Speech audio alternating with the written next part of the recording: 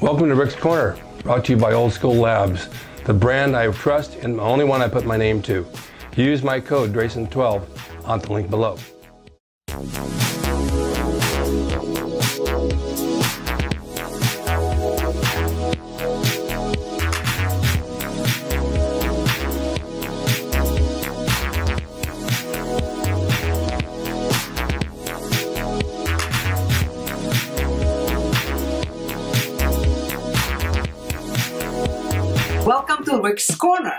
The man, the myth, the legend. Now on with the show. Welcome to Ric's Corner. You know, uh, try to add up sometimes how much I spend on food because it seems to be my biggest expense. And it's quite a bit, actually. but that's my main form of entertainment. I like to eat. I mean, I like to eat right. I like to eat well, and I want to make sure I have good food going in me. I'm not big on junk food. I don't order fries and stuff like that. I will get a burger um, because I don't think it's all that bad to have hamburger and cheese and lettuce and tomato. Sure, you get a little bread, so what? But have you ever figured out how much you spend a day, a week, a month, or a year on food and supplements? It could be astronomical. Do all of them work? Do you need them all? Probably not. I remember back in the 70s we had very, very few supplements. I very limited protein powder, which I've mentioned before, maybe amino acids and liver pills. And I don't think we even had amino acids, I think it was just liver pills. And we all made good gains. We all made uh, the, the, the, progress we wanted to just by eating chicken and fish and beef and tuna, and uh, it seemed to work well. We ate it several times a day, and we didn't prepare it to take with us like they call meal prep. We just would eat, we'd go home and eat, and then we'd take off and do what we did. I don't remember taking anything with me. I don't remember too many people taking anything with them. But if you eat a good breakfast, if you have your eggs and your beef patty for breakfast and your oatmeal, that's fine. You go to the gym, you train, you have uh, maybe uh, take a little amino drink with you after. It's always good to have something after you train and then at lunch. Um, today I had four eggs uh, over medium on some wheat toasted butter and cottage cheese. Now, normally I'd get a chicken breast or I'd get a hamburger patty or something, but I don't know, I just had the taste for that and I figured that's a good source of protein. And it worked pretty well. I've been home a couple of hours. I didn't really have anything yet, but I am going to reach for the liquid egg whites because I think that's a good source of protein for me. Um, I had a protein bar. Now, Quest sent me some bars, and I like those. I think those are the best protein bars out on the market, and they certainly have good flavor. Now, for dinner, I'll probably go somewhere and have maybe chicken or a steak. I'm not quite sure where around here. I live alone, so I go out to eat because it's easier for me to go out than cook at home all the time and be bored sitting home. But think of all the things you're taking. Sure, we've got to have vitamins of some sort. If we don't get the right foods, we have to have some sort of vitamin. So I take vitamin C. I take vitamin um, uh, folic acid, vitamin D3, which my doctors want me to take.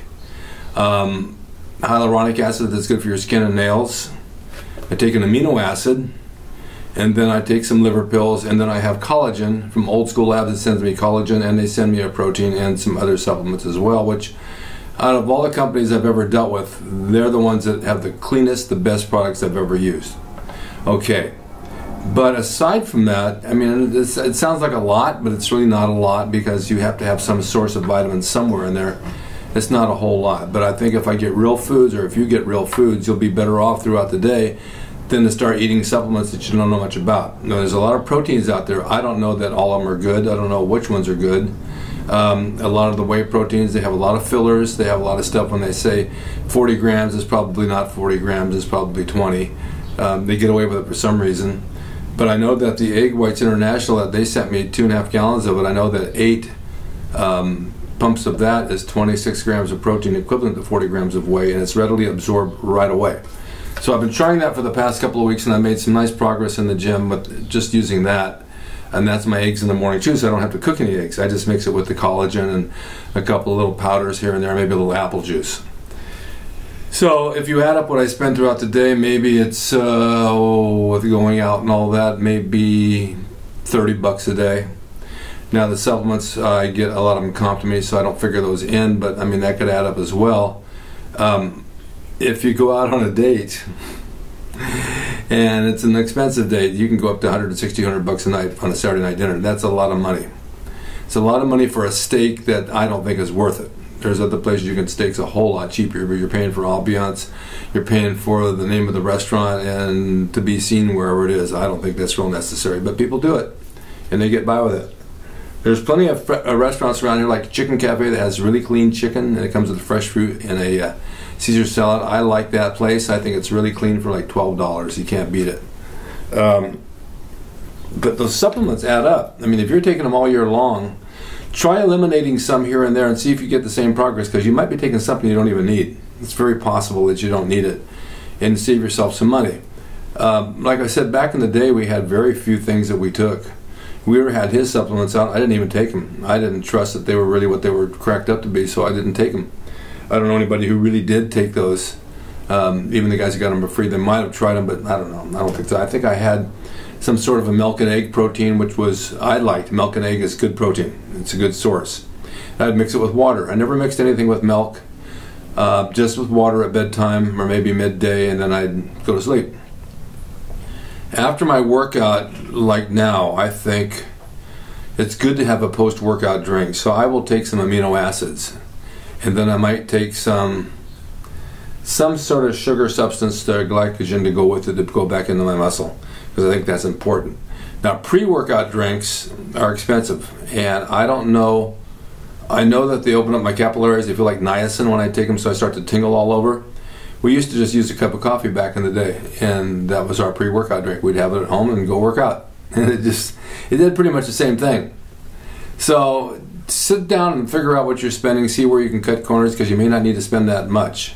And you'll probably save yourself a lot of money. Now, guys who get ready for the Olympia, on their diets when they're eating the meat and all that stuff, man, they're spending a lot of money on good quality stuff because they need to be in top shape. Not to mention all the anabolics that go with it, which could add up to maybe a several 80, 90, 100,000 dollars a year, and they won't get that money back unless they win. So that's another thing they're spending it on, and the, the return on that is like next to nothing. So I was thinking about this and I wanted to bring it up, and I didn't know how you guys, I know a lot of you guys have a hard time with diet, and a diet's really the most important thing you can do. But you've got to sit down and analyze what it is. Now, I don't like to plan like Monday through Friday, this is what I'm going to have every meal. I like to catch it as the meal comes. If I go out or I make something, then I'll do something I feel I want at that moment. And it'll be a high quality, high protein diet because I'd rather do that than think, okay, Thursday I'm going to have a chicken breast and rice because then by that, that time I may not want it. I never know on a Monday or Tuesday or Thursday where I want to go on a Saturday if I go out. It'll hit me, and then I'll go and I'll enjoy it. Sunday used to be a cheat day for years, and I don't even do that anymore. I don't have any desire to sit and eat a bunch of just a bunch of junk that I don't want. I feel lousy afterwards, and it's I don't know. I don't think it does you any good. At any. I'll just have to burn it off again. So anyway, that's my uh, my thoughts on eating and what you spend on it. And um, if you want to cut back a little bit on your expenses, I think you can cut a few things out that you don't really need. Hope you listen to me and follow what I say, and maybe you'll get some good results from it. Okay? Build your bank account. That's what you got to build. Thank you very much. Bye bye. Hope you enjoyed the video brought to you by Old School Labs. Use my discount code Drasin12 on the link below at oldschoollabs.com. Hey everyone, now you can have the Gold's Gym logo drawn by me, the artist Ric Drasin, personalized and made out to you and signed by me to frame and put on your gym wall or wherever you see fit to do so. It's a piece of bodybuilding history. It will never be duplicated again. It's the largest selling icon t-shirt logo in the world. And I'm the guy that drew it, and I will draw it for you. Just go to my website, ricdrasin.com, and order there. You can pay through PayPal, and it'll be sent out right away. And be sure to watch Ric's Corner for all the videos on bodybuilding, nutrition, fitness, pro wrestling, and anything that suits your interest as far as getting physically fit and being the best you can be from the golden era of bodybuilding.